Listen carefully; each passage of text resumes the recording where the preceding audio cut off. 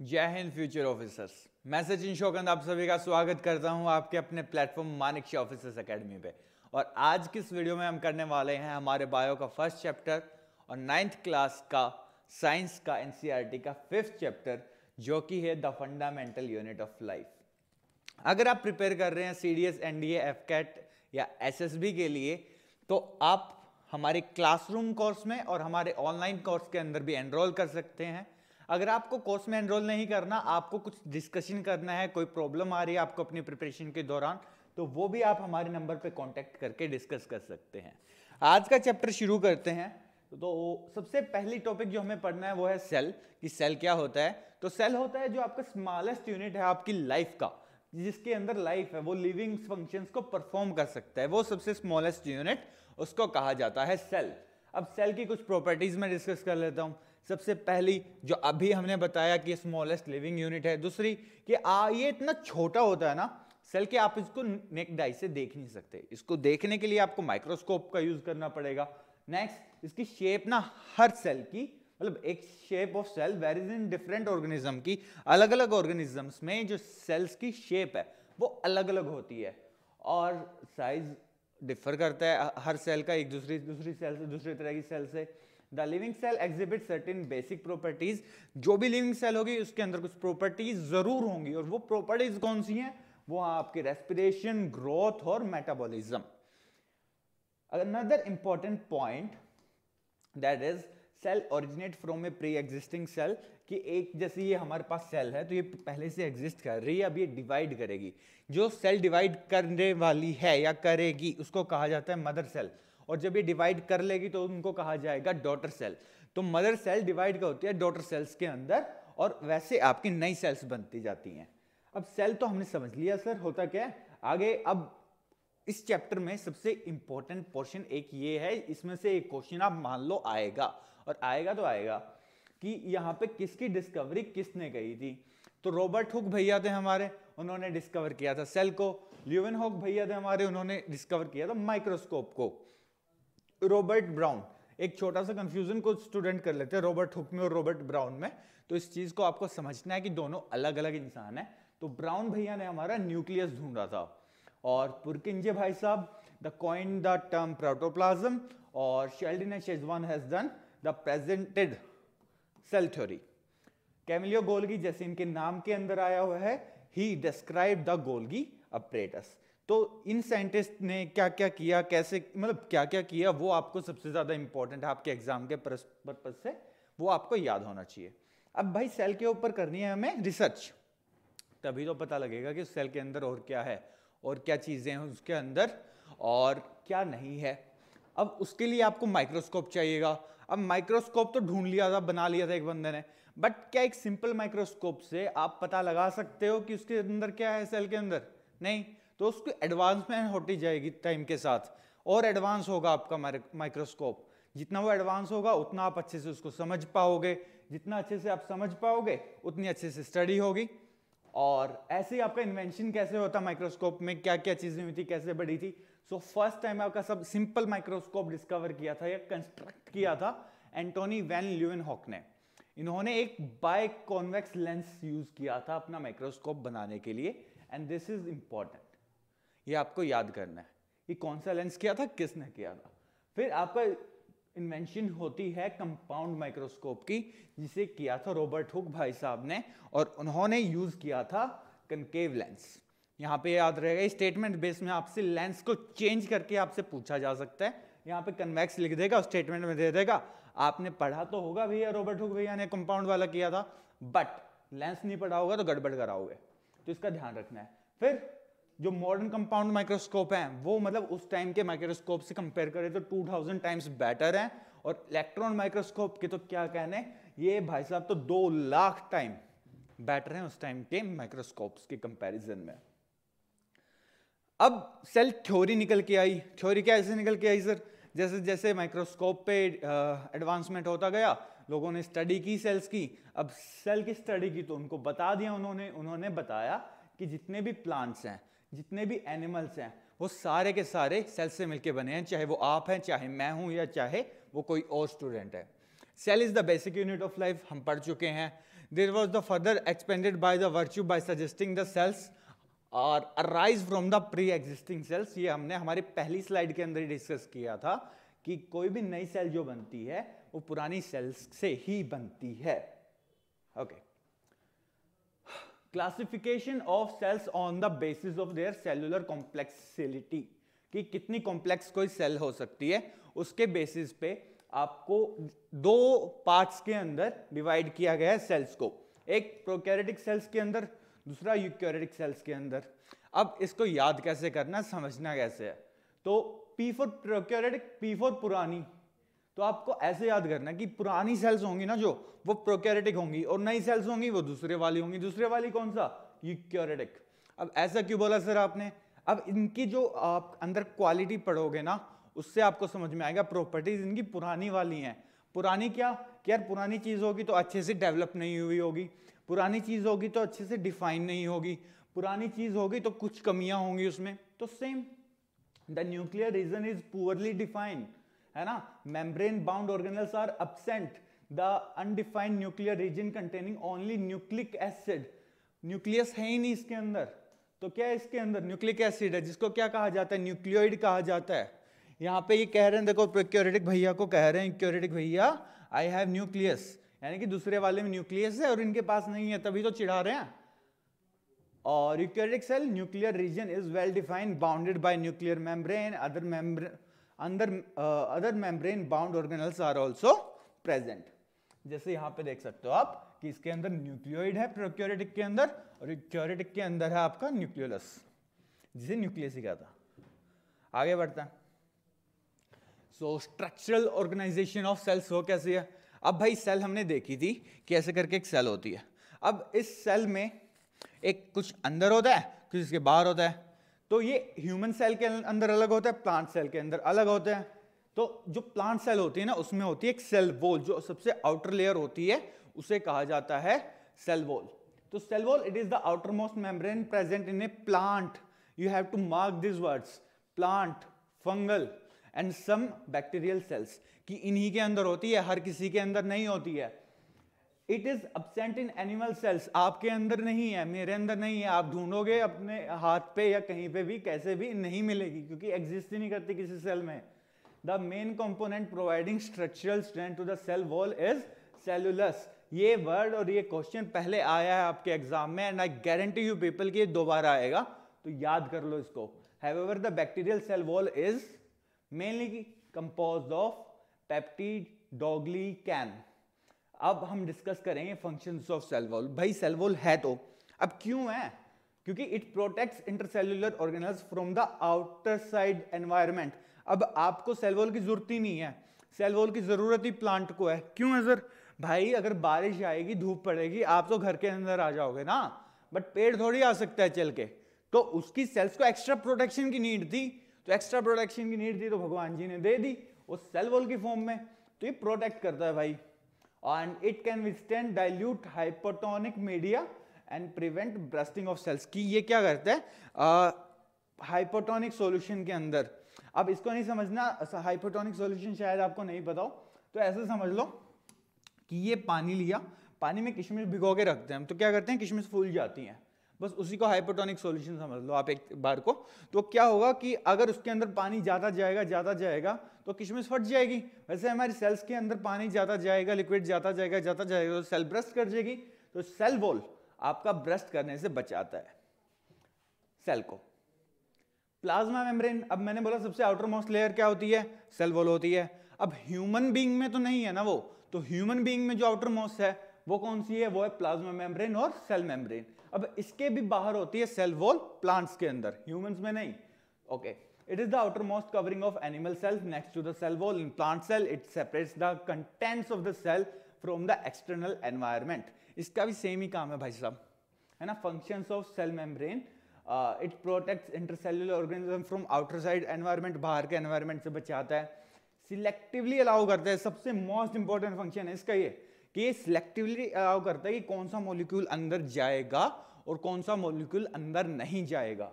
वो इसका काम है। इट कैन अनगल्फ और expel substances in and out of the cell through the endocytosis और exocytosis these are the process जिसके थ्रू वो कोई भी चीज़ को अपने अंदर समाता है। या अपने अंदर से छोड़ देता है सेल लाइक सपोज़ कीजिए दिस इज़ द फ़ूड इसको टू में इमेजिन कीजिए, और ये सेल है। तो इस सेल ने क्या किया? इसको ऐसे चारों तरफ़ से घेरा एंड आगे से बंद हो गया एंड इसको एनगल्फ कर लिया। इसी तरीके से, है ना? और अब निकलना है तो यहीं से निकल जाएगी। तो इसमें सेल मेम्ब्रेन आपका डिसाइड करती है कि कौन सी चीज़ अंदर को मैं आने दूँगा।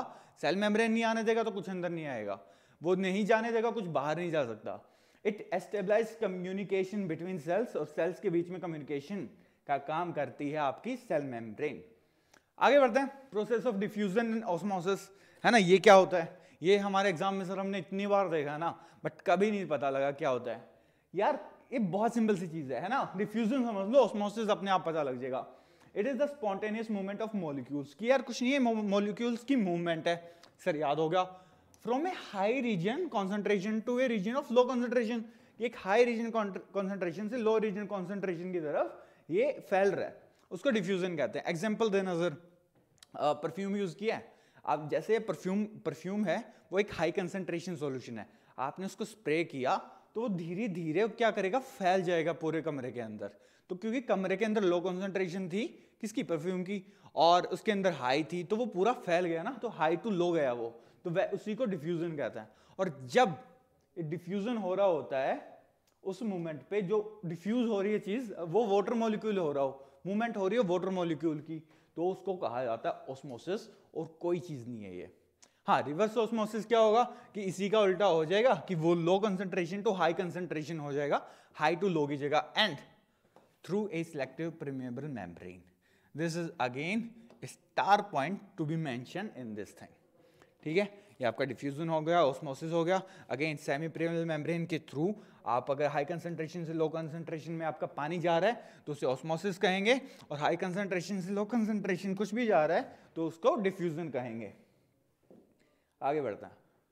साइटोप्लाज्म अब ये क्या, ये कौन सी बला आ गई? सर सेल पढ़ा है ना? अभी पढ़ा हम लोगों ने सेल होता है एक, है ना? हमें सेल पढ़ा है। अब सेल की हमने पढ़ा है कि सेल की मेम्ब्रेन होती है चारों तरफ़। ये तो पढ़ ली। हमें पता है सर, उसके अंदर बीच में ना एक न्यूक्लियस करके चीज़ होती है, ये भी पढ़ लिया हमने। तो भाई, एक लिक्विड होता है जो आपका न्यूक्लियस और सेल मेम्ब्रेन के बीच में होता है, उसको कहा जाता है आपका साइटोप्लाज्म। और पढ़ते हैं। The cytoplasm is the inner content of cell membrane, which is separated from the nucleus, की न्यूक्लियस के बाहर है, सेल मेम्ब्रेन के अंदर है। And it include cytosol organelles and inclusions. अब साइटोसोल क्या होता है? Cytosol is a soft and sticky semi transparent fluid in which various cell organelles are suspended तो ये एक फ्लूड है है ना? जो इसको अंदर पड़ा होता है। फ़ंक्शन ऑफ़ साइटोप्लाज्म क्या है भाई? कोई चीज़ है, भगवान ने बनाई है तो कुछ काम भी होगा उसका, है ना? वो तो बेरोजगार नहीं है, उसका फ़ंक्शन है कुछ। वो क्या है? It is the region where many cellular activities take place अब इसमें बहुत सारी सेलुलर एक्टिविटीज़ होती कैसे क्या it mostly consist of water and it balance the water contents in the cell अब जो पानी है है ना? वो कितना है मतलब वो कितना होना चाहिए, कितना नहीं होना चाहिए? ज़्यादा हो गया तो उसको बाहर निकलवा दिया, वो कम है तो वो जाके उसको सेल मेम्ब्रेन से एनगल्फ करवा लिया तो सारा काम इसका होता है। It contains cytoskeleton which maintains the shape and movement of cells कि अब सेल ऐसी दिख रही है तो ये ऐसी क्यों दिख रही है? ये डिसाइड करता है आपका cytoplasm cytoplasmic streaming and circulation of cytoplasm helps in the proper distribution of cellular organelles during the cell division and growth. आगे बढ़ा न्यूक्लियस अभी न्यूक्लियस देखा था हमने। न्यूक्लियस भैया क्या क्या काम है? It is the most important cell organelle बिल्कुल यार, दिमाग कहते हैं इसको, है ना? Nucleus enclose as the double membrane star mark कर लेना पेपर में आएगा। Nucleus is enclose by the double membrane known by the name of nuclear membrane और डबल मेम्ब्रेन है, ये याद करना है ना? The nuclear membrane has pores of selectively transport और डिफरेंशिएट मटेरियल्स कि भाई न्यूक्लियर मेम्ब्रेन है अगेन जैसे सेल मेम्ब्रेन सेल के अंदर बाहर का डिसाइड कर रही थी न्यूक्लियर मेम्ब्रेन न्यूक्लियस के अंदर बाहर का डिसाइड करेगी। इट कंटेन्स अच्छा न्यूक्लियस के अंदर क्या क्या होता है? ये बात ना बहुत ज़्यादा इंपॉर्टेंट है। और ये बहुत स्टूडेंट पढ़ के ही नहीं जाएँगे, आप पूछ के देख लेना अपने कॉम्पिटिशन से। It contains a nuclear sap and close by the nuclear envelope known as the nucleoplasm containing nuclei and chromatin. Chromatin is here the most important one. आगे बढ़ते हैं। वोकल्स के, है ना? वोकल्स के बारे में पढ़ते हैं। It is found in both plant और एनिमल सेल दोनों के अंदर मिलते हैं। It is it is single and large in plant cell while small and numerous in animal cell के एनिमल सेल में छोटे छोटे होते हैं, लेकिन बहुत सारे होते हैं। इन प्लांट सेल में एक ही होता है, लेकिन बहुत बड़ा होता है। It is enclose by membrane known by the name of tonoplast star mark important function of vacuoles है ना? वोकल्स इट प्रोवाइड टर्जिडिटी ये टर्जिडिटी देता है रिजिडिटी देता है प्लांट सेल को कि ये स्ट्रॉन्ग बनाता है उसको ओके okay? इस स्टोर हाउस की तरह भी काम करता है कि ये स्टोरेज करता है। किसका? अमीनो एसिड्स का शुगर का और बहुत सारे ऑर्गेनिक एसिड्स का। In some organism specialized vacuoles performs the function of expelling waste material and excess of water उसका भी ये काम कर देते हैं। जैसे देखो ना, ये एनिमल सेल है, वो आपके प्लांट सेल है तो प्लांट सेल के अंदर यहाँ पे एक बड़ा वोकल है और इसके अंदर ये एक छोटा, ये दूसरा छोटा, ये तीसरा छोटा तो वोकल्स बहुत सारे हैं। फ़ंक्शन समझ में आए स्टोरेज का काम करता है। सबसे इंपॉर्टेंट मेन फ़ंक्शन का स्टोरेज का आगे बढ़ते हैं। एंडोप्लाज्मिक रेटिकुलम क्या होता है? एंडोप्लाज्मिक रेटिकुलम क्या होता है? है ना?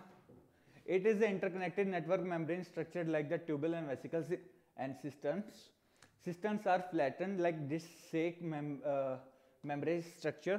Tubules are tubular in shape while vesicles are sac-like structure. अब इसमें आपको क्या करना है? ये आप समझो कि एंडोप्लाज्मिक रेटिकुलम एक चीज़ होती है आपकी सेल के अंदर ही होती है साइटोप्लाज्म के अंदर होती है। कि ये क्या है? ये एक नेटवर्क है। किस किस का? कुछ स्ट्रक्चर्स का। वो स्ट्रक्चर्स के नाम क्या है? ट्यूबल्स वेसिकल्स और सिस्टन्स अब, आपको इसमें सिस्टन्स याद रखना है ट्यूबल्स याद रखना है? जो सिस्टम्स है, उसकी शेप याद रखनी है कि वो डिस्क के जैसा होता है सर और सिस्टम्स जो होता है, आपका डिस्क के जैसा होता है, जो ट्यूबल्स होता है, वो आपका सैक लाइक स्ट्रक्चर होती है. अब, इससे भी इंपॉर्टेंट चीज़, इसी टॉपिक के अंदर, वो ये है कि ये होते हैं दो टाइप के. दो टाइप के कौन से होते हैं सर ये देख रहे हो? ये भी एक वही है एंडोप्लाज्मिक रेटिकुलम है, और इसके इधर वाला भी एंडोप्लाज्मिक रेटिकुलम है. सर, लेकिन यहाँ पे तो दाने दाने दिख रहे हैं मेरे को, और यहाँ दाने दाने नहीं दिख रहे। बस यही डिफरेंस है, जो दो तरह की बनाता है। एक होता है आपका स्मूथ एस e एक होता है रफ एंडोप्लाज्मिक रेटिकुलम अब ये क्यों है? क्योंकि ये प्रेजेंट है यहाँ पे। क्या प्रेजेंट है, सर? राइबोसोम्स और ये पूछता है पेपर में कि why you know rough endoplasmic reticulum is rough because of the presence of ribosomes function भी होगा ना भाई कुछ तभी तो है।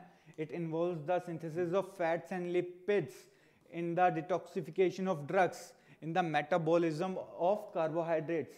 और फ़ंक्शन क्या होंगे? आर ई आर के it involve the transportation of proteins and mainly the site of glycosylation यानी फैट्स के लिए करता है रफ वाला और प्रोटीन के लिए करता है स्मूथ वाला।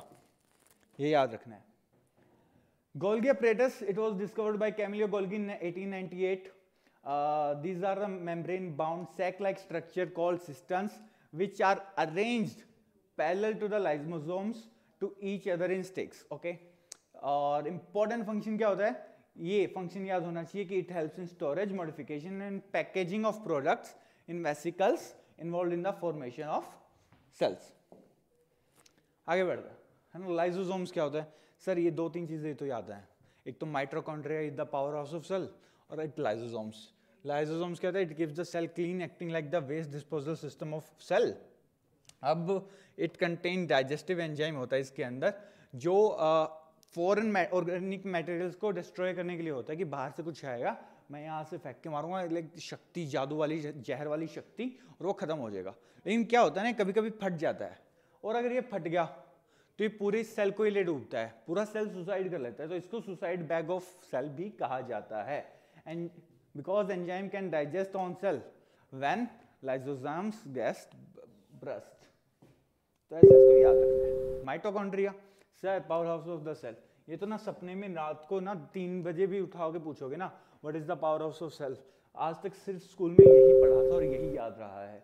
It is the double membrane bound organelle that has its own DNA you have to mark कि माइटोकॉन्ड्रिया के पास अपना खुद का डीएनए होता है। Hence they are able to make some their own proteins तो प्रोटीन भी बना सकते हैं। इंपॉर्टेंट फ़ंक्शन क्या होता है माइटोकॉन्ड्रिया का? Involve in cellular respiration and produce करता है एनर्जी क्योंकि पावर हाउस ऑफ़ सेल क्या करेगा? एनर्जी करेगा in the form of ATP ATP की फुल फॉर्म आपको पता होनी चाहिए। That is adenosine triphosphate and जो लास्ट टॉपिक इसी में सेल्स के अंदर होता है प्लास्टिड्स प्लास्टिड्स क्या होता है? These are the cell organelles are present in plants और अपसेंट होती है एनिमल्स के अंदर। फिर से इस बात को याद रखना। Plastids have their own DNA and ribosomes DNA इनके अंदर है न्यूक्लियस के अंदर है और कहाँ है? माइटोकॉन्ड्रिया के अंदर। टाइप्स क्या होती हैं? एक क्रोमोप्लास्ट होता है, एक ल्यूकोप्लास्ट होता है। क्रोमोप्लास्ट जो होता है, वो उसमें कलर पिगमेंट्स होते हैं। जैसे क्लोरोफिल हो गया कैरोटीन हो गया, है ना? तो इन सबसे कलर आता है। जो भी चीज़ का आप देखते हो तो दे आर प्लांट्स के अंदर जो भी कलर है this is because of your chromoplast chrome again is a root word for colour है ना? और uh, ये रूट वर्ड्स की हेल्प से अगर आपको कैलरी सीखनी है तो आप हमारी प्लेलिस्ट में जाकर वो भी सीख सकते हैं। Leucoplast are the colourless plastids अब क्या करेंगे ल्यूकोप्लास्ट भाई? Uh, और ये they carry out the process of photosynthesis कि क्लोरोफिल है इसके अंदर and they contribute to the colour of leaves and flowers कि लीव्स का कलर कैसा होगा फ्लावर्स का कलर कैसा होगा, वो सब कंट्रीब्यूट करते हैं ये लोग. तो इन सबसे मिलकर आपकी बनती है सेल और इसी के साथ आज का चैप्टर हमारा खत्म होता है. इस चैप्टर में से आपको चार, पाँच क्वेश्चन भी आपको देखने को मिल सकते हैं तो make sure you read it you make notes आप इसको रिवाइज करो.